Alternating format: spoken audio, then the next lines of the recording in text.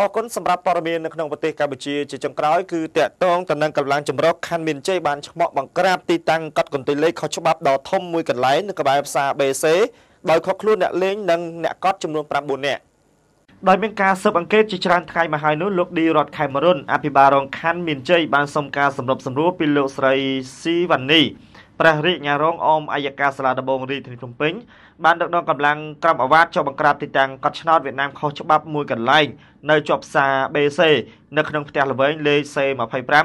នៅភូមិថ្នោតជ្រុំ2សង្កាត់បឹងតពុន2ខណ្ឌមានជ័យនៅវេលាម៉ោង1រសៀលថ្ងៃទី27ឆ្នាំ2017នៅក្នុងប្រតិបត្តិការនោះកម្លាំងចម្រុះដែលចុះបង្ក្រាបខកខ្លួនជនសង្ស័យប្រុសស្រីចំនួន9នាក់ជាអ្នកកត់និងអ្នកលេង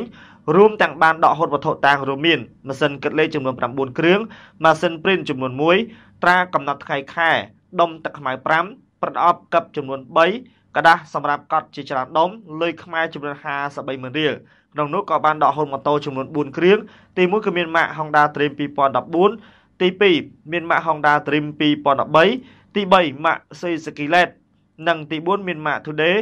ហើយលោកឌីរតខេមរុនអភិបាលរងនៃគណៈអភិបាលខណ្ឌបានប្រាប់ឲ្យដឹងថាមុននឹងឈានទៅដល់ការចុះបង្ក្រាបនិងខកខ្លួនជនសង្ស័យប្រុសស្រីទាំង9នាក់ខាងលើគឺលោកបានស៊ើបអង្កេតជាច្រើនថ្ងៃមកហើយដោយឲ្យកម្លាំងសម្ងាត់ពាក់ឯកសណ្ឋានស៊ីវិលចូលទៅចាក់ឆ្នោតវៀតណាមនោះហើយក៏ដឹងច្បាស់ថាជាទីតាំងខាងលើពិតជាកន្លែងកត់ឆ្នោតវៀតណាមដោយខុសច្បាប់ដ៏ធំពិតប្រាកដនោះមែន។